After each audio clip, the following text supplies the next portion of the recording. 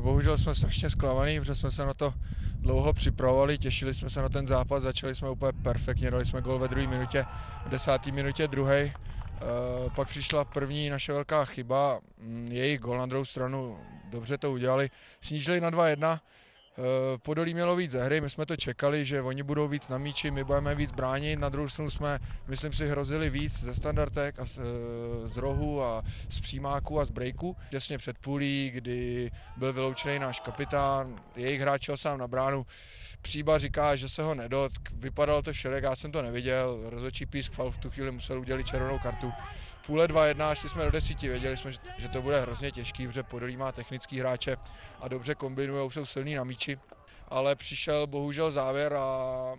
musím to říct, musím to říct, pan rozhodčí to totálně nezvlád, protože jednak nám vyloučil druhého hráče, ale hlavně pak písk úplně naprosto nesmyslnou penaltu a to všichni viděli, že to penalta nebyla, náš hráč ukop balon,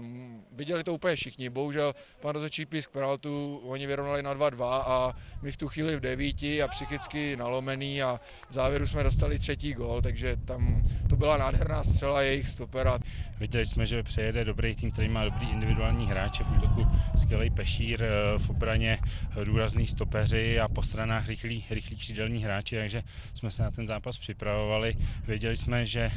budou hrozit eh, ze standardek, který soupeř má naprosto perfektní, skvělý. Tak samozřejmě tenhle zápas byl hodně důležitý nejenom o postavení, ale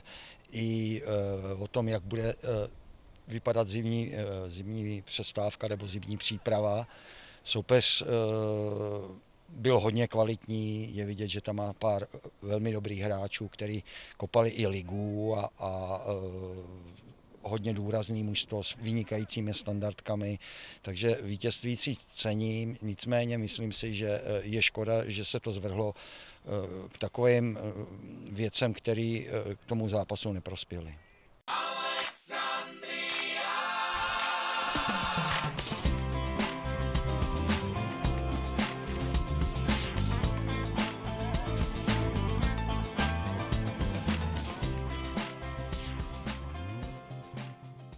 Krásná střela Karla Kristena, který vymetl šibenici. Je to, je to skvělé, že jsme takhle dali gol na 3-2. Je vidět, že prostě nás posílil před tou sezónou a dodává na šíře klid a, a v, v rozhodujících momentech dokáže takhle nám pomoct a je to to, co nám v minulých sezónách chybělo. Jsme se snažili postoupit, hráli jsme o postup, byli jsme vždycky nahoře, ale v těch situacích, eh, kdy jsme třeba prohrávali 2-1 nebo to bylo 2-2, tak jsme to nezvládali a je vidět, že ty hráči, kteří přišli, dva z hájů, dva z Duklížní město nám skvěle pomohli a doplnili tady ten kádr Podolí, který tady je prostě konsolidovaný po celou dobu, hrajeme spolu a zvýšili ještě tu kvalitu a teď ještě zvládnou poslední utkání na Strulkách, přezimovat a připravit se na jaro.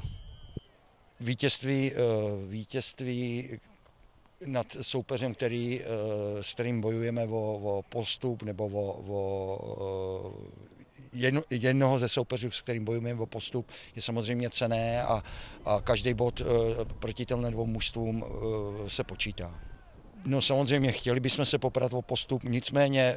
troufnu si říct, že my z těch, dvou, z těch třech manšaftů máme, máme na jaře nejtěžší rozlosování a další věc je, je že ty soupeři bych řekl, že jsou víc konzolidovaný, mají maj, eh, ten kádr hodně široký, takže vůbec to nebude jednoduchý. Samozřejmě eh,